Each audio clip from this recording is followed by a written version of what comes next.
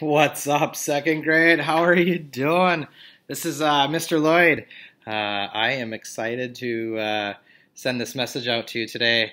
Um, first off, I want to uh, welcome you back to our unofficial uh, back to school uh, open house. I know we can't do it in person this year, and that's fine. We are going to do it digitally. So here we go. Um, first off, I want to welcome each and every one of you to my classroom. I am so excited to see kids' face again.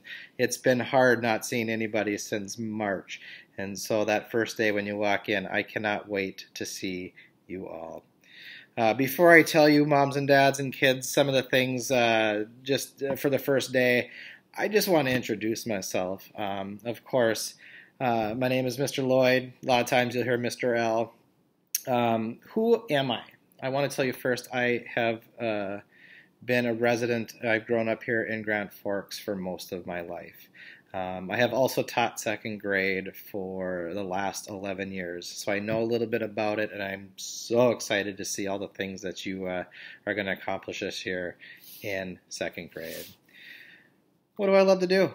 That's a great question. I'm glad you asked. Well, first and foremost, I love to go to the lake every summer. Uh, I spent a lot of time at the lake with friends this year, uh, more than I have in the past, and I've been so thankful and appreciative of that. Of course, uh, you might see up here the ND. I absolutely love to go to UND Sports. You're going to hear a lot about that this year. Um, uh, Mr. Lloyd is kind of a diehard hockey fan, so uh, get ready for some stories because you're going to hear a lot of them. A couple fun facts about me. Um, you'll notice again a hat on my head. I wear a hat every single day of my life.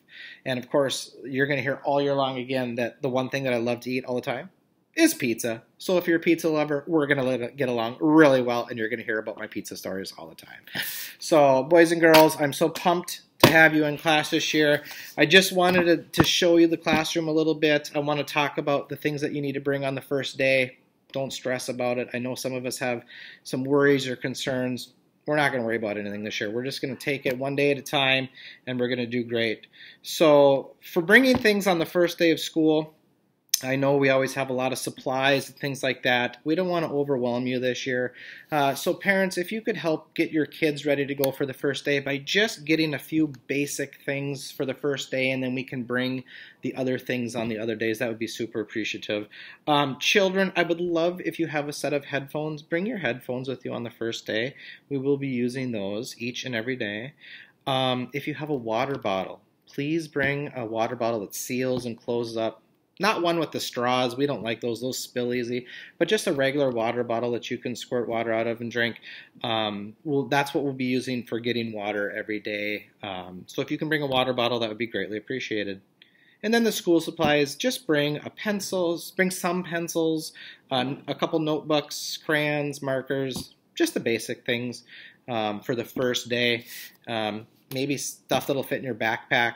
But don't bring all those extra bags of stuff on the first day. Just bring it little by little each day um, until we have it all here.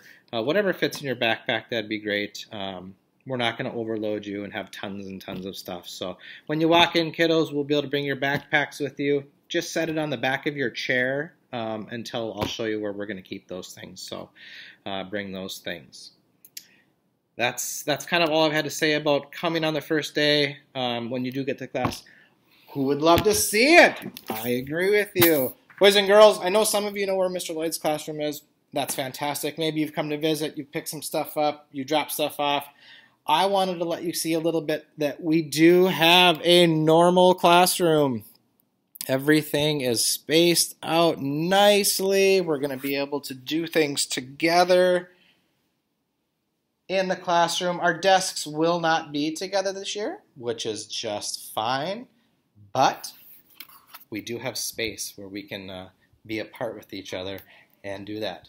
If you're not sure where the room is, it is 125. So feel free to swing over and uh, find that room. If you can't find it, I will be here to help you on that first day. Can't wait to see you. Hope you're all doing well. I'll see you on Monday morning. Take care, everybody. Can't wait.